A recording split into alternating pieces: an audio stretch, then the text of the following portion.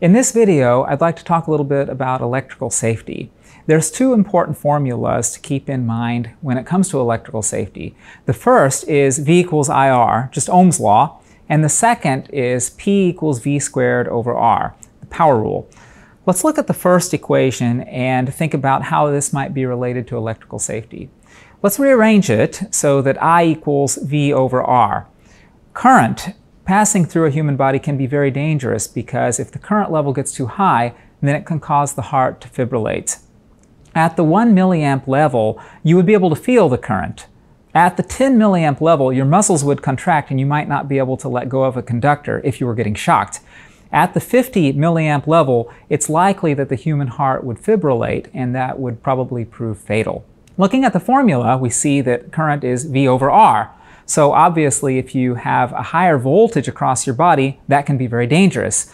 The other variable in the formula is R, the resistance of the human body, and that's something that we're going to measure here in a moment. The other formula that I just mentioned, power equals V squared over R, or equivalently, power equals I squared times R, refers to the power that's dissipated in the human body in the event of a shock. Obviously, we would want to keep the power dissipated in a shock to be very low as well. From these two formulas, you can see that indeed we want the current to be as low as possible, and we also want the voltage to be as low as possible as well. Given that we have a fixed voltage, is the voltage supplied by something that's physically small, like a battery, just as dangerous as the voltage supplied by something larger, like a DC power supply? The answer to this question is no. These batteries even if they're at the same voltage as a grid-connected power supply, tend to be safer. And the reason for that is this. Once current starts flowing from these batteries, the batteries have trouble maintaining a very high current flow, whereas something that's connected to the municipal electricity grid won't have any trouble supplying the high current that's necessary to sustain a shock. Although this battery is labeled 9 volts, it doesn't mean that the battery is going to maintain 9 volts when it's supplying a lot of current, as would be the case during an electrical shock. Let's go back to the formula for a moment and look at the other variable in the formula, R, the resistance. That refers to the resistance of the human body in the event of a shock. Let's go ahead and measure it. I've got a multimeter right here. I'm going to turn it to ohms, and with each hand, I'm going to touch an electrode. Looks like the resistance of my body is about 5 megaohms. Now that's a fairly big number. Let's model the resistance of my body as three resistors in series. One resistor will represent the resistance of my skin lying between this electrode and my finger. Another resistor will represent the resistance of the skin on my other finger. And the resistor in the middle will represent the resistance of the electrolyte in my body, which is mostly salt water. We already know that the net resistance is about 5 megaohms. But what's the resistance of the salt water, that interior portion of my body? That's something that we can estimate by measuring the resistance of salt water here in a glass. I'm going to measure the resistance of this glass of water. This is just ordinary tap water. The ohm meter is telling us it's about 220 kiloohms, but this doesn't have any added salt. I've got some rock salt right here. Let's add the rock salt to the water and see what happens to the resistance.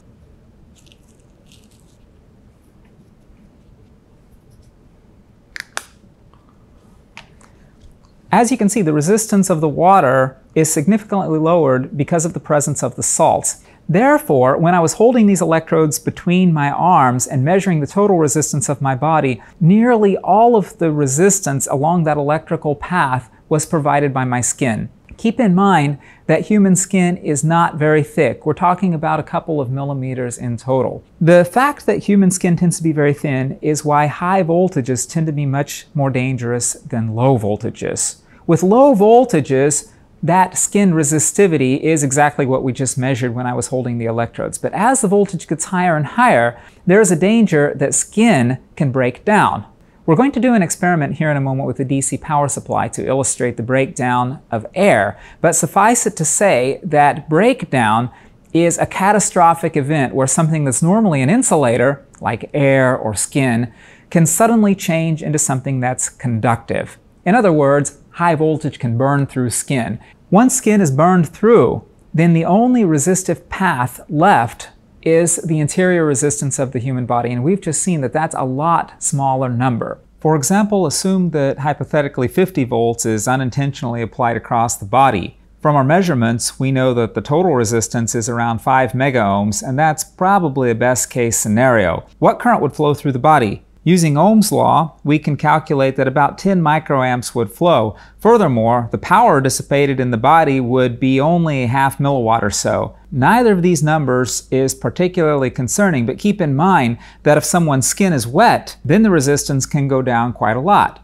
Let's recalculate if the skin resistance were to be zero, which is kind of a worst case scenario, or pretty much what would happen in a serious shock. Although we measured 80 kiloohms with the salt water, we're going to assume 10 kiloohms to be a little bit conservative for the resistance of the human body's interior. In fact, it can be as low as 1 kiloohm depending on the path the current takes through the body. We're within an order of magnitude of dangerous levels, but the probability of a fatal shock at 50 volts is not too high.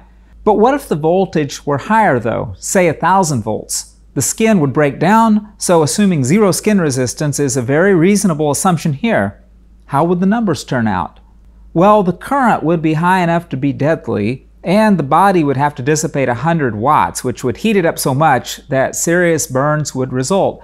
It might be survivable if the current were to somehow not be passing through the heart, but it would be really bad. I'd like to do an experiment here with the DC power supply. This particular power supply can give me a voltage up to about 300 volts. Now, it's not a perfect power supply. It's not going to be able to maintain such a high voltage once current actually starts to flow. But we can use it to do an experiment related to breakdown. What I'm going to do is take one of these electrodes and gradually move it towards the other electrode until we get a spark. Let's see how close these electrodes might get to one another at a low voltage versus a high voltage. So I'm going to turn it on, and I've got the voltage here set to about 50 volts. I'm going to only use one hand here to move these two wires towards one another. And let's see how close we can get to them before current starts to flow. I didn't see any spark, but we can see the needles jump on the meter when current starts to flow. That being said, it is possible sometimes get a spark with voltages even as low as 30 volts, and people have been electrocuted with voltages in the 40s. So voltages as low as 30 volts can indeed be dangerous. I'm now going to increase the voltage up to about 150 volts, and we'll repeat the experiment.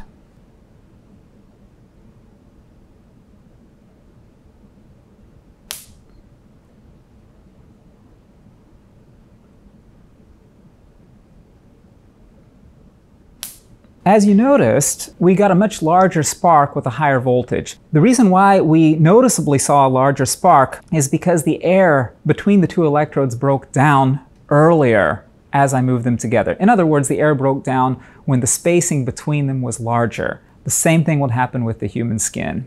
If you are around high voltage equipment, the skin can suddenly change from an insulator to a conductor if you have a spark through it. And that's what makes high voltage very dangerous. I'm going to go ahead and discharge this power supply by tapping the two electrodes towards one another, even though I've shut it off. This is good practice anytime you're working around high voltage equipment because there are often internal capacitors in these power supplies that tend to be charged up. It's always a good idea to make sure they're fully discharged even though you've turned off the switch. I'd like to share with you a few tips when working around electricity. First of all, it's never a good idea to touch a conductor with the palm of your hand. The reason for that is if a conductor happens to be live and at a sufficiently high voltage, touching it or even tapping it with the palm of your hand can cause your hand to suddenly grip the conductor because your muscles would contract. If you grip a conductor and can't let go, then the situation can prove fatal. On the other hand, if you tap a conductor or touch it with the back of your hand, then contracting muscles will try to pull your hand away from the danger, which is a lot safer, of course. The second tip I have when working around electricity is to only use one hand as much as possible. You might have noticed that when I was doing the experiment here with the DC power supply, I was only using one hand. I kept my other hand safely away from the experiment in my pocket. Of course, the reason is that I didn't want to accidentally touch ground or another conductor that could have potentially sent a fatal current through my body. Right now, I'm isolated from the ground by sitting on a stool that has thick rubber feet and I'm wearing shoes with thick rubber soles. The reason for that is to prevent my body from accidentally being grounded, which could be dangerous in situations of high voltage. The other tip I have is that you should always treat conductors as possibly being live. When you're sitting at a bench doing various experiments, it's often necessary to turn a power supply on and off, on and off several times. When you get to doing that and you're concentrated on your work, you might forget to turn a power supply off, go to grab something, and then get shocked. So always try to treat conductors as being live, always use one hand, always keep yourself isolated from the ground as much as possible. And finally, remember that if you walk into a lab and somebody's been using equipment, they might have forgotten to shut it off, or the equipment itself might also be faulty. Do try to keep these things in mind and work safely in an electrical lab. Hopefully this video has given you some idea of the potential dangers of working in a lab and particularly with working with high voltage. If you enjoyed watching this video, then you might be interested in following our playlist and learning more about the fundamentals of electrical circuits.